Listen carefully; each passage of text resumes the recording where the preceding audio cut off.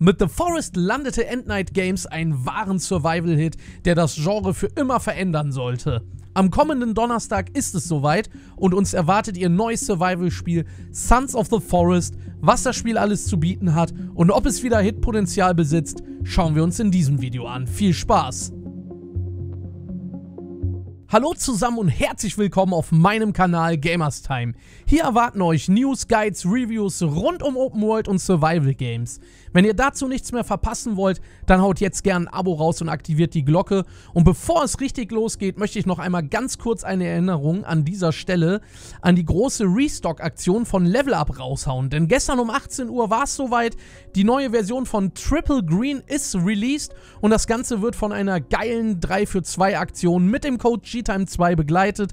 Das bedeutet, ihr könnt euch drei Dosen zum Preis von zwei bestellen. Also wenn ihr mich unterstützen wollt, checkt gerne einmal den Link in der Videobeschreibung Beschreibung ab. Und ich würde sagen, jetzt legen wir aber los mit den ganzen wichtigen Infos rund um Sons of the Forest. Am kommenden Donnerstag, dem 23. Februar, ist es soweit und endlich erscheint das neue heiß ersehnte Survival Game aus dem Hause Endnight Games Sons of the Forest, was die Fortsetzung des Vorgängers The Forest darstellt. Nach etlichen Verschiebungen steht dieser Release-Termin auch wirklich fest. Dennoch gab Endnight Games kurz vorher bekannt, dass es sich bei diesem Release auch wieder um ein Early Access handeln wird. Das Entwicklerstudio hat sich zu diesem Schritt entschieden, da man schon bei The Forest sehr gute Erfahrungen damit gemacht hat, dass das Spiel anhand von Feedback der Spieler erweitert und ausgebaut wird und das Ganze möchte man gerne jetzt wiederholen. Zusätzlich gibt es noch einige Dinge, die die Entwickler dem Spiel hinzufügen möchten und daher ein Early Access für sinnvoll halten.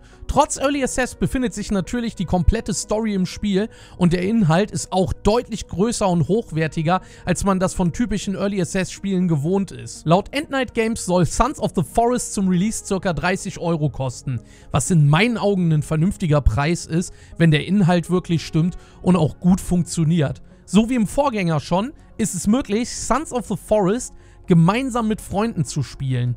Was bedeutet, dass ihr mit bis zu sieben weiteren Freunden die Welt von Sons of the Forest entdecken könnt. Und das Ganze machen wir selbst am Donnerstag in einem großen 72 Stunden Special Livestream, bei dem wahrscheinlich Trimax, Rumatra, Reapers, Sebo, Henky, eventuell Chef Strobel und ich am Start sind. Schaltet dazu gerne am Donnerstag ab 10 Uhr auf meinem Twitch-Kanal www.twitch.tv slash gtimetv ein.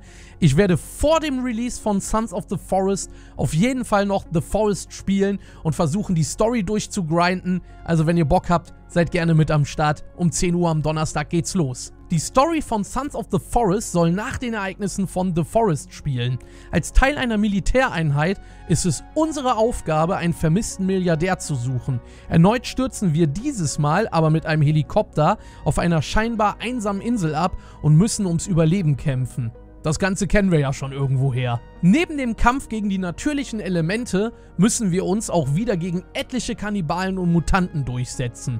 Soweit klingt das Ganze auch schon ziemlich interessant und vertraut, wenn ihr mich fragt. Allerdings kommt jetzt der wirklich interessante und beste Part. Denn Endnight Games hat extrem viele Änderungen und Verbesserungen beim Gameplay vorgenommen. Das grundlegende Gameplay, wie zuvor erklärt, bleibt eigentlich erhalten und somit setzt Sons of the Forest auf dasselbe Spielprinzip wie der Vorgänger The Forest.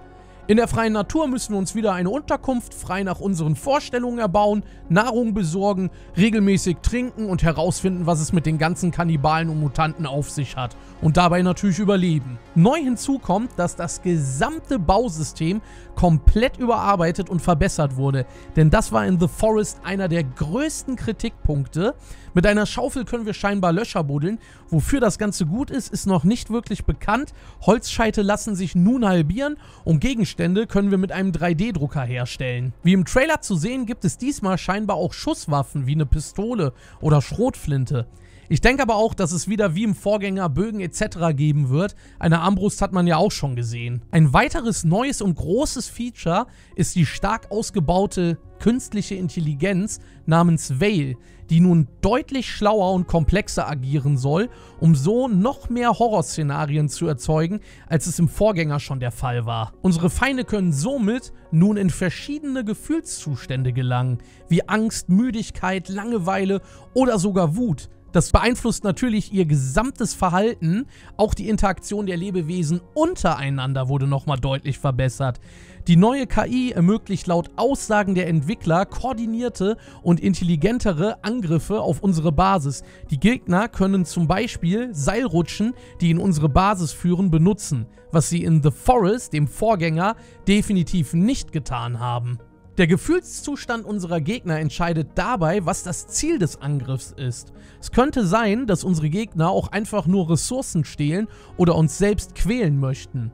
Das sorgt natürlich dafür, dass sich die gesamte Welt von Sons of the Forest deutlich lebendiger und natürlicher anfühlt. Und wo wir jetzt gerade beim Thema Gegner sind, davon soll es auch jede Menge neuer geben, die man auch schon im Trailer gesehen hat.